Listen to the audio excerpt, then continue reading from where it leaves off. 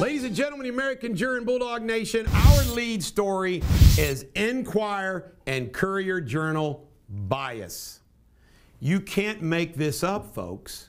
The Courier Journal and the Cincinnati Enquirer, by the way, there's all kinds of Kentucky Durrani clients. And guess what? Dr. Durrani had his own place over here in northern Kentucky. It is a Kentucky story. The Courier Journal and the Cincinnati and Kentucky Enquirer do not cover that monumental decision from the Ohio Supreme Court. They do not cover at all the release of the Butcher of Pakistan.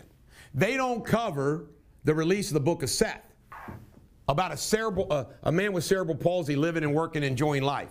They don't cover the going against medical protective. They don't cover anything relative to my campaign.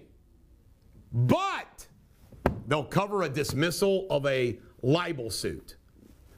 And, and, and the hit job that they did, this is, this is hysterical.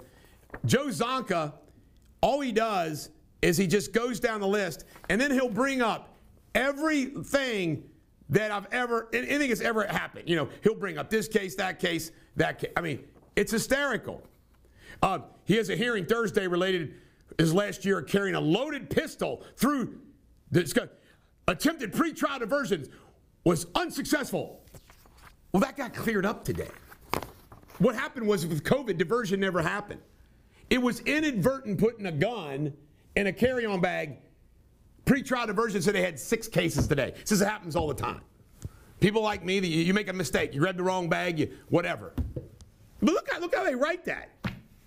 Joe Sonka, you know what? I sent him a thank you note. I said, Joe, as long as the Courier Journal keeps attacking me, I will definitely win the Republican primary. Because I like to tell all of you, if you're looking for the guy that the Courier Journal does not like, the one that they write about negatively the most, it's me. Why?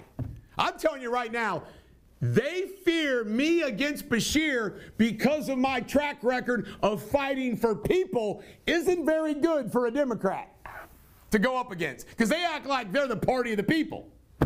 You catch my drift? That's why they don't want me.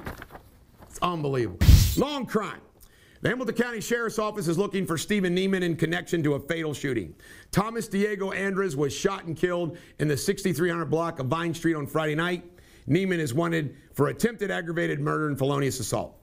Avondale man Charlie Robertson was caught on camera attempting to set a senior living facility on fire. It's awful. Robertson lit paper on fire and threw it down a trash chute in Hayden Hall Center apartments on Tuesday.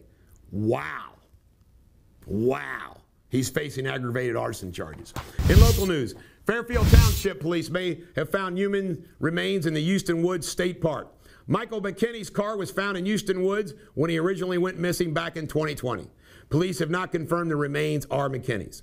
Clermont County officials have issued a statewide alert for missing adult Thomas Mills. Mill was last seen on Ohio Pike and Amelia on Tuesday. The man is autistic and affected by delayed mental capacity. Over 10 Cincinnati restaurants have been targeted this week by nationwide hacker attacks. Restaurants like Arnold's Bar and Grill have had their Facebook accounts hacked and frozen. The hackers take over the account, freeze out the owner, then access the owner's credit card. Ouch. Wawa's the popular East Coast convenience store chain coming to the tri state area. The chain currently has over 100 locations and has targeted Kentucky, Ohio, and Indiana for expansion. Come on in. Buddy LaRosa, the founder of La, uh, LaRosa's Pizza, has been inducted in the Ohio Restaurant Hall of Fame. What took so long? The longtime community staple was honored by the Ohio Restaurant Association on Tuesday. Buddy opened his first LaRosa's Pizzeria on the west side in 1954. I love Buddy LaRosa. He's a good guy. He's been a, a great community leader. He's got good pizza. I mean, Buddy's that boxing thing that he does, the sports things. Buddy LaRosa is a great man. Kentucky State News. E-cigarette manufacturer JUUL Labs has agreed to a settlement with the state of Kentucky. Kentucky will receive more than $14 million from the company. The JUUL's practice of marketing underage Kentuckians led to the settlement. In Ohio State news, an Ohio Senate committee has rethought some requirements in the addressing of transgender athletes. The language in the bill will no longer include an invasive genital exam for a physician statement. The new language requires a birth certificate. The athlete's gender is questioned for girls' sports. And in sports, Joe Burrow, AFC Offensive Player of the Week. This is the Bulldog. Every dog has their day. Have a great day.